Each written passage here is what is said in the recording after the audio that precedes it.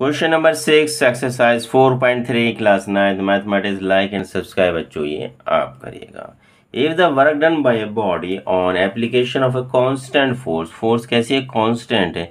Is directly proportion to the distance travelled by the body जो distance travel करते था by the body को। Express this in the form of an application in two variables two variables में से हमें show करना है। तो इतने सवाल पढ़ के हम करते हैं। इफ़ द वर्क डन ठीक है ना? इसे हम एज्यूम कर लेते हैं। एज्यूम करने let x be the distance travel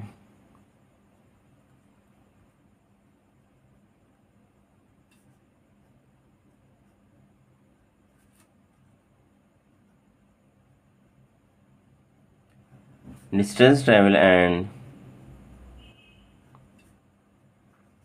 y be the work done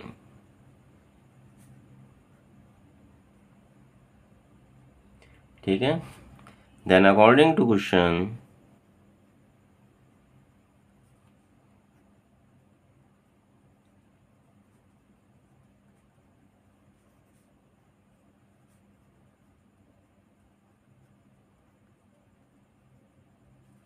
question क्या कहता है? Work done is the work done body of an application constant for is directly proportion to the distance work done work done हमारे किससे हमने show करा है?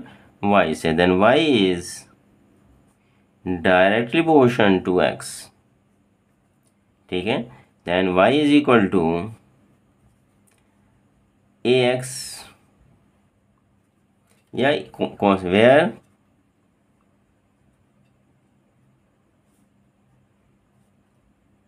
a is constant.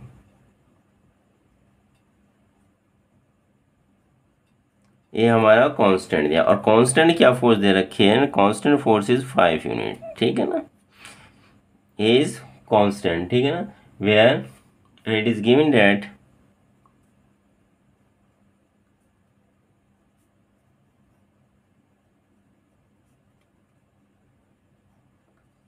given that the constant force is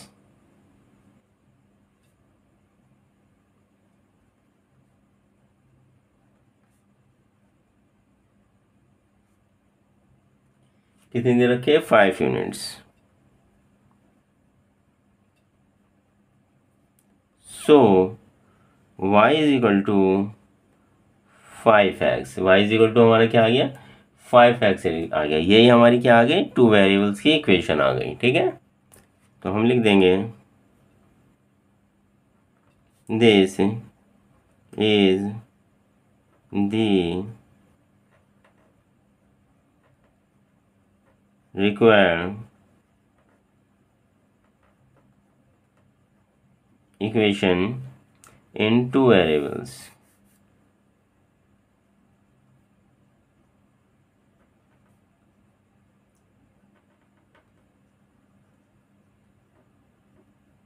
ठीक है, यहाँ तक तो हमारा क्वेश्चन कंप्लीट होता है। इसके आगे क्या कहते हैं? Draw the graph of the same अब इसके लिए हमें क्या ग्राफ ड्रा करना है? ग्राफ ड्रा करने के लिए हमें क्या चाहिए? एक तो ग्राफ पेपर चाहिए और ग्राफ पेपर जाने के लिए हमें क्या चाहिए? हमें इस इक्वेशन के लिए कुछ पॉइंट्स चाहिए होते हैं। हमारी इक्वेशन क्या है? Y is equal to five x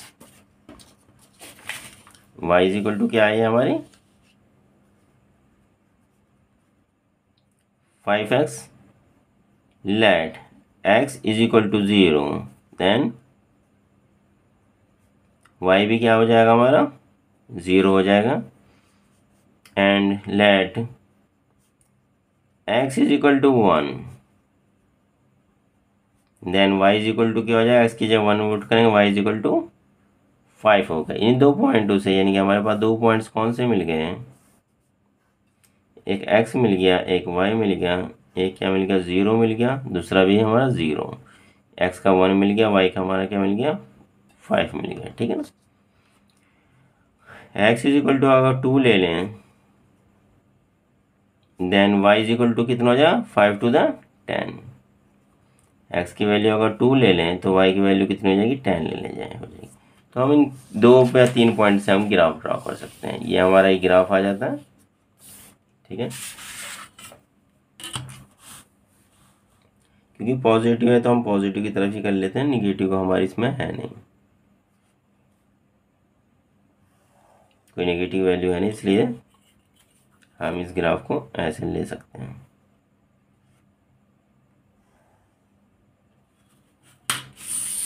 ठीक है, ये हमारी एक्स एक्सेस हो गई।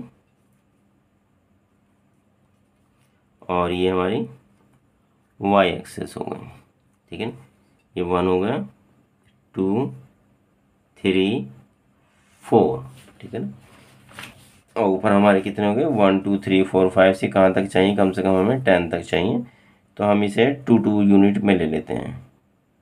Two four six eight eight के वन टेन ट्वेल्व हमारे पॉइंट क्या आए थे x is equal to zero then y is equal to zero x is equal to zero y भी हमारा ज़ीरो आ गया।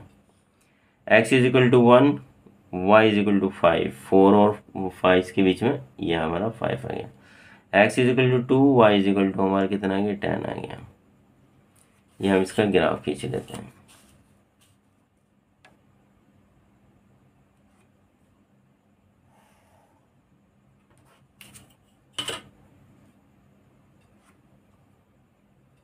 ये हमारा ग्राफ क्या है? y is equal to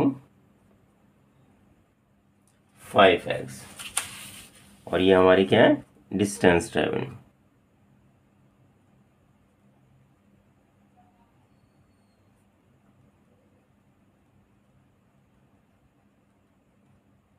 distance travel इस डायरेक्शन में ऊपर वाला और ये क्या है हमारा? Work done